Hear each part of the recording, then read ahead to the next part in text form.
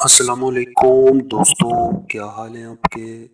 میں امید کرتا ہوں کہ ہمارے تمام دوست خیریت سے ہوں گے۔ تو دوستو، سب سے پہلے تو ایک بات میں آپ کو بتاتا چلوں کہ برائے مہربانی، میں پہلے بھی آپ کو بتا چکا ہوں کہ ہم کسی سے کوئی پیسہ نہیں لیتے رشتہ کروانے پر۔ تو اسی لیے برائے مہربانی کسی کو کوئی پیسہ دینے کی ضرورت نہیں ہے۔ ہمارا نام لے کر اگر آپ سے کوئی پیسہ مانگتا ہے تو اسے پیسے ہرگز نہ دیں۔ تو ہم جو ہے اس چیز کے ذمہ دار نہیں ہوں گے اگر آپ پیسے دے بیٹھے ہیں یا دینے جا رہے ہیں۔ تو اب چلتے ہیں آج کے رشتے کی طرف۔ تو اس رشتے میں جو ہے میں آپ کو بتا دوں کہ ان کا جو موبائل نمبر ہے جس پر آپ رابطہ کر سکتے ہیں، وہ میں آپ کو ویڈیو کے درمیان بتا دوں گا۔ آپ اس پر جو ہے ڈائریکٹ رابطہ کر سکتے ہیں۔ تو برائے مہربانی پوری ویڈیو دیکھ لیا کریں، اس کے بعد آپ، جو ہے بعد آپ رابطہ کیا کریں۔ کیونکہ اکثر لوگ وہی سوال، وہی باتیں ہم سے پوچھتے ہیں جو ہم اکثر ویڈیو میں جو ہے بتا چکے ہوتے ہیں۔ تو دوستو، یہ جو خاتون ہیں، جن کا رشتہ میں آپ کے لیے لے کر آیا ہوں، ان کی عمر جو ہے اس وقت وہ چالیس سال ہے۔ اور یہ ایک طلاق یافتہ خاتون ہیں۔ تو چالیس سال عمر ہے، دو سال ہو گئے ہیں طلاق ہوئے، بچے نہیں ہیں۔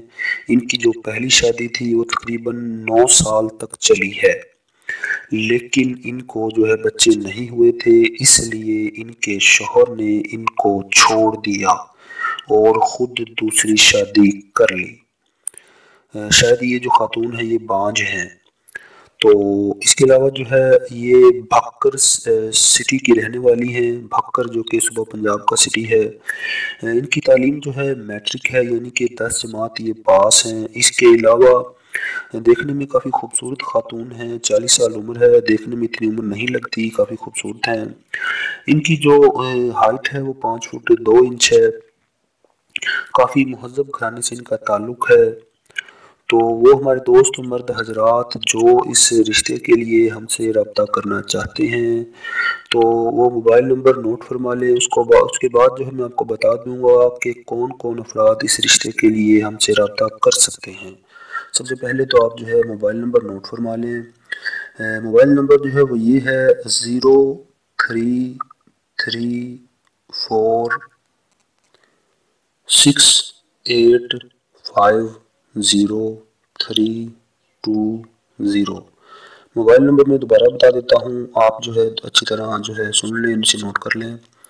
صفر، تین تین، چار چھ، آٹھ، پانچ، صفر، تین، دو، صفر۔ تو دوستو، یہ موبائل نمبر ہے، آپ اس پر جو ہے رابطہ کر کے اپنی تمام تر تفصیلات جو ہے وہ بتا سکتے ہیں۔ تو اب میں بتا دیتا ہوں آپ لوگوں کو کہ کون کون افراد اس رشتے کے لیے جو ہے رابطہ کر سکتے ہیں، نمبر ون پر جو ہے لڑکے کی عمر جو ہے وہ جو ہے پینتالیس سال سے زیادہ نہ ہو۔ اور نمبر دو پر جو ہے وہ پاکستان کے ان ان علاقوں سے ہو، وہ میں آپ کو بتا دیتا ہوں۔ میاں والی، چکوال، خوشاب، بھکر تلا گنگ یا لیا۔ یا اس کے گرد و نواح کے جو علاقے ہیں، ان علاقوں سے جو افراد ہیں، وہی اس رشتے کے لیے رابطہ کر سکتے ہیں۔ اس کے علاوہ ذات برادری کوئی بھی ہو لڑکا جو ہے اچھا خاصا کماتا ہو، وہ اس کے لیے ہم سے رابطہ کر سکتا ہے۔ اور جو اہم بات میں آپ کو بتا دوں کہ یہ خاتون جو ہیں، یہ بانج ہیں، بچے نہیں ہوئے، اسی لیے ان کو طلاق ہوئی تھی۔